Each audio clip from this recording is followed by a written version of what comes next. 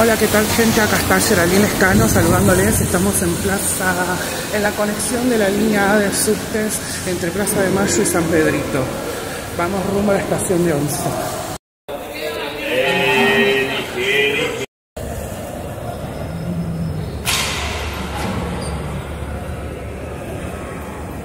Estamos en Once y me pareció importante hablar de este tema acá en la estación de Once, porque por la estación de Once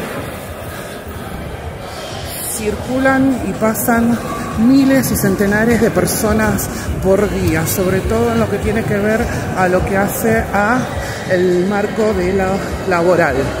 Eh, a eso mismo me gustaría poder hacer hincapié y hoy de que vamos a hablar Estamos hablando un poquito de lo que tiene que ver el acceso a el cupo laboral para personas con discapacidad. ¿Por qué? Porque el pasado domingo 3 de diciembre fue el Día Internacional por la Día de promoción, accesibilidad a los derechos para las personas con discapacidad. Y en ese marco también poder hablar de lo que hace a la discapacidad de algunas personas en pensar en el acceso a todos los derechos que hemos alcanzado y hemos logrado. Hoy en día tenemos un montón de cuestiones que hacen a los derechos de las personas, no solo con discapacidad, sino también a otras personas como niñeces, adolescencias, mujeres, LGBTI más, en, en el contexto de asumir un nuevo gobierno a perderlo todo. Me encantaría poder hablar de lo que tiene que ver con el acceso al cupo para personas con discapacidad. ¿Por qué? Porque es algo esencial para las personas poder desarrollarse en plenitud de todos sus derechos.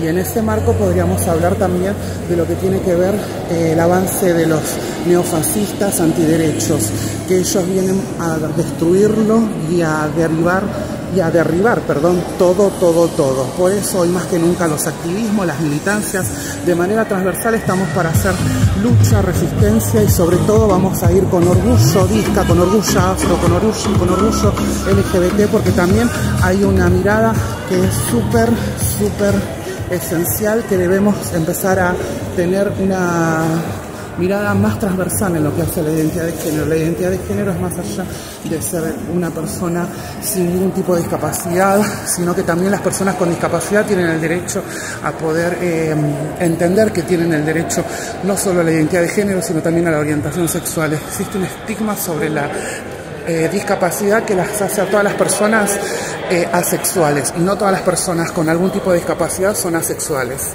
Entonces, derechos plenos para personas con discapacidad ahora y siempre.